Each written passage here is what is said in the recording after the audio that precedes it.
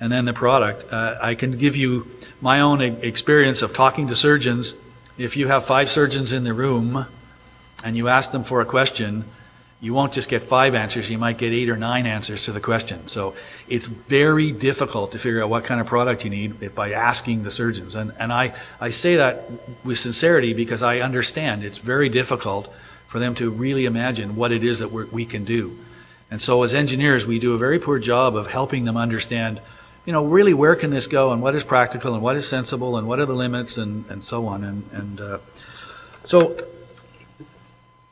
what he says is that um, every started as a grand experiment uh, designed to achieve validated learning. And I thought that was really, really an interesting way to think about your startup. Um, you know, you have limited amounts of money, and so you're really running this great experiment. And so what he talks about is the concept of a minimal viable product, an MVP. Um, and, and I'm really simplifying the, the book, but you find early adopters. So if you know the innovation dilemma and the innovation solution, innovator solution, you know in the story about early adopters. So you find those early adopters. So, and you know, Dr. Anvari would be an example of an early adopter. Vision guy, willing to put up with, you know, engineering speak and try to learn what we're talking about and, and you know, help us along and answer the dumb questions that we ask all the time. Um, and he's, so he's an early adopter. So you find a group of those people and you whenever you're writing a business plan, and you've heard about business plans, you're going to make assumptions in your business plan. What makes sense? What am I selling and why am I selling and who am I selling to? So you have to figure out if you can validate those hypotheses.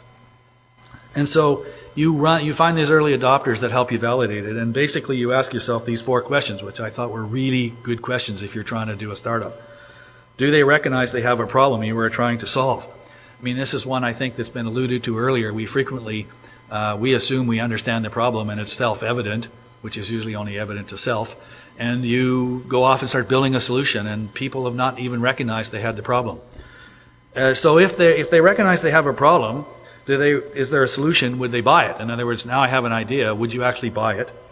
And then would they buy it from us? And then can we build it? And you notice the can we build it comes kind of late in the in the sequence of questions. So I thought those were really good questions, and uh, you know, to ask yourself in this in this early process. So, and I've got the the, acronym is BML, not BLM, but uh, you build this minimal viable product, and then you run through when you build this, you run a, through a full term, uh, full turn of build, measure, and learn. So you build something, you then measure, and then you learn from that, and then you go back to your hypotheses. If you have to, you might change. So the building part, which we all love to do as engineers, so that's the first thing we get into is starting to build, which is uh, great. Uh, but we tend to build very complex things and then we measure. And so what he says is measure, you build something quite simple. So this is this minimal viable product. And he doesn't worry too much about quality actually, because he's not building. This is not the final product. This is just the minimum viable product and then you measure. And he gets he spends quite a bit of time here because at this point you're thinking, well, this sounds great. I'm going to build a bunch of stuff. I'm going to throw it out in front of them, ask them what they think, and you know, change my way or whatever. And he spends a lot of time talking about innovation accounting and what is it that you actually are measuring. And every time you run one of these little these little uh, um, BM BML process or BML processes, you've got to have a specific thing you're trying to measure, and you've got a specific way that you're going to measure it. It's very rigorous which is something that, again, we in the engineering world do not do a very good job of. So they have to be actionable metrics, things that you can really measure. And then based on that, you look at, at what you've done and what you've measured and you say, well, am I building the right thing or not? You might make sort of mid-course corrections, which is what most of us hope for, but he talks about, you know, sort of three decisions. Um, you know, am I on the right track? Am I on the wrong track and should I change track? And or should I just abandon ship and get out of this because it's never going to work? And those are the questions. And he talks about things, as pivoting, which is basically, um, I've got to change. Uh, I, this is a good idea, but I'm doing the wrong thing here. And examples of that are, am I, um, maybe I have the wrong customer in mind. So maybe I'm building this, it's the right thing, but for the wrong customer. Do I need to look at my customer and change that? And he gives lots of examples of that. Or have I got the right idea, but I've got uh, something wrong with the product, so I do. Do I need to change the product? So he talks about this as a pivot moment. And he said, in any startup, you are going to have a series of pivots, and as fast as you can get to those pivots, make the change and move forward is the only hope you have, because, you know, we talked about uh, going from a startup to a fully functional medical device company, and we put numbers in there of 150 million dollars. And I can I can assure you, there's nobody out there right now with checkbooks anxious to write checks for 150 million dollars to finance any of you in building one of these companies. So you're going to be in this startup phase, you're going to be very lean. And the leaner you can be and the quicker you can get to good answers, the better. So I really, um, I really liked uh, this. I, it gave us a lot of guidance. I know at MDA, being a big corporation, uh, this does not fit in instinctively with the way that we do business, certainly on the space side. So we're actually having lots of discussion right now with our team about how do we implement some of this idea uh, in this medical field. So uh, I'll let you know next year how it's how it's turning out if we're still around. Okay, uh, thank you very much.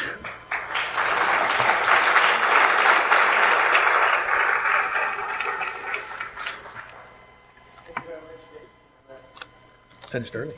Well, finishing early, yes. Right, uh, any uh, any questions today? Yes. Oh, Chris, go away.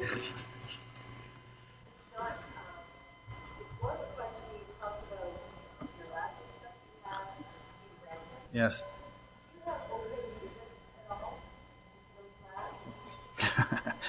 um, not normally. It's not. We don't. Uh, we don't have open houses or anything like that. I mean, so much of what we do in there is proprietary that, you know, we, we don't allow cameras or anything like that. But we, we you know, what's your specific interest? Uh, yeah. Well, talk to me afterwards. See what we can do. I mean, we certainly love good publicity, and we certainly understand we have a responsibility to the public. And just as an aside, you know, we've been, I didn't mention this, but if you looked at all the space robotics we've done, you're talking about billions of dollars worth of generally taxpayers' money. Now, fortunately, a fair bit of it's U.S. taxpayer money, but some of it's Canadian. And I have to say that, you know, when I'm, sitting when I'm sitting in the backyard having a beer with my neighbors and tell them what I do, and I say, those space stuff, well, it's cool, but, you know, they don't think, well, gee, this is really making a difference to me. When I talk about the medical robotics, and part of the reason why I have such a passion for it is because I think we're taking the investment we made in space and putting it on the Earth. And, you know, I fundamentally believe that robotics and other elements that we're doing there are making and will make medical outcomes better for people. So, you know, we owe it to the public to be open and tell us, tell them what to do. So, you know, we'll see what we can do for you. Sure. As a surgeon, I feel obligated to comment on, on what you said, and actually, I, I agree that this uh, situation, when you ask five surgeons, you get nine answers. This is true. But I believe that this is mainly due to the fact that surgery is a certain kind of art. And I think when you get nine uh, answers, you should feel lucky because uh, then your engineers have uh, the possibility to cover all, all uh, aspects of the problem. It is probably much better than what I've seen several times, where engineers are sitting in, uh, in uh, their own rooms and developing prototypes, uh, consulting with their own uh, colleagues without surgical input. And surgeons, in this case, are sometimes the inventors and uh, on top of this they are the end users most times. So it is a great advantage. Well I, thank you for saying that. And i would just say most of the engineers that are, are working on our medical in our medical products have you know we get them into the surgery and see the process as it is now.